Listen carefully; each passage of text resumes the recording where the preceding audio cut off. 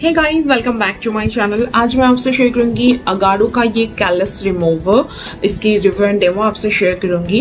सो so, इसे use करने से आपकी जो हील्स है अगर क्रैक्ड है बहुत ज़्यादा हार्ड स्किन है वहाँ पर काफ़ी सारी डेड वहाँ पर जमा होती है। एवरीडे बेसिस पर आप उसे रिमूव नहीं कर पाते हो तो ये आपको बहुत अच्छी से हेल्प करेगी आपकी हार्ड स्किन को रिमूव करने में which is callus and dead skin को भी वहाँ से रिमूव करेगी आपके आपके हील्स को काफ़ी सॉफ्ट एंड स्मूथ बना देगी। चलिए देख लेते हैं बॉक्स के अंदर आपको क्या क्या मिल रही है इसे आपको कैसे यूज़ करना है।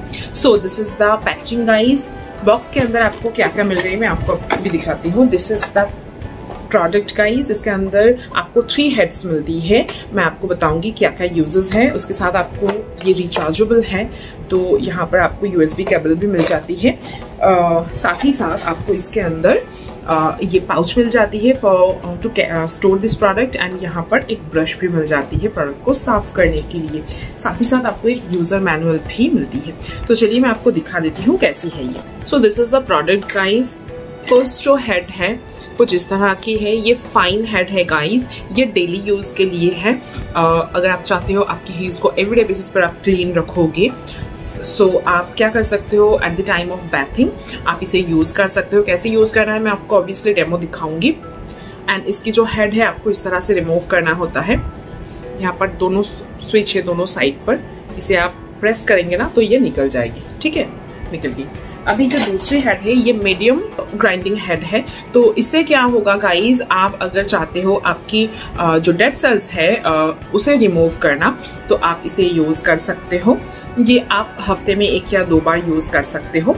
एंड जो थर्ड हेड है दिस इज़ कोर्स हेड अगर आपकी यू नो हेज पर काफ़ी ज़्यादा हार्ड स्किन है, काफ़ी ज़्यादा डेड स्किन है तो आप इसे यूज़ कर सकते हो to remove your callus so guys इसे अटैच uh, करना कुछ इस तरह से आपको अटैच करना होता है आपने देख लिया। तो अभी चलिए मैं आपको दिखाती हूँ इसे ओपन आई मीन यूज़ कैसे करना है। सो so, इसे ऑन करके मैं आपको दिखाती हूँ अभी। ये देखिए। सो so गाइज़ ये जो है I P X seven rechargeable product है। आप इसे ड्राई uh, एंड uh, मतलब अंडर शावर भी इसे यूज़ कर सकते हो पानी में भी यूज़ कर सकते हो एंड ड्राई भी यूज़ कर सकते हो एंड ये रिचार्जेबल है। uh, इस तरह से आपको इसे रिचार्ज करना होता है। इस तरह से।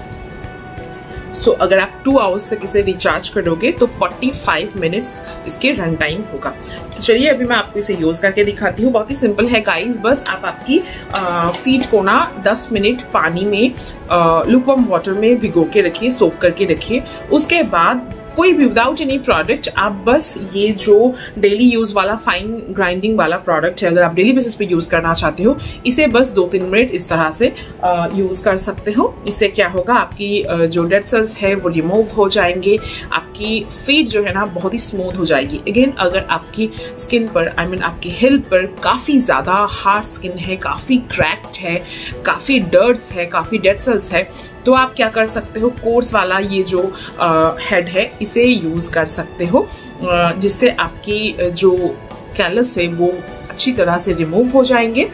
एंड uh, उसके बाद आप कोई भी मॉइस्चराइजर अप्लाई कर सकते हो। मॉइस्चराइजर मास्ट है क्योंकि यहाँ पर स्किन आपकी जो है ना कैलस रिमूव होने के बाद काफ़ी ड्राई हो जाती है। तो वहाँ पर आपको मॉइस्चराइज करना इंपॉर्टेंट है ताकि आपकी स्किन काफ़ी स्मूथ एंड सॉफ्ट रहे। सो so गाइज़ यही सिंपल तरीका है। आप इसे यूज़ कर सकते हो। बहुत ही ईजिली बस दो मिनट के अंदर आप आपकी कैलस को रिमूव कर सकते हो। And smooth and soft heels पा सकते हो। घर बैठे ही without going parlour so guys I hope video आपके लिए हेल्पफुल रहा होगा। अगर आप इसे बाय करना चाहते हो ऑब्वियसली इसकी बाय लिंक आपको डिस्क्रिप्शन बॉक्स में मिल जाएँगे। एंड आज की वीडियो के लिए इतना ही। मैं आपसे मिलूँगी नेक्स्ट वीडियो में। चलो टेक केयर बाय बाय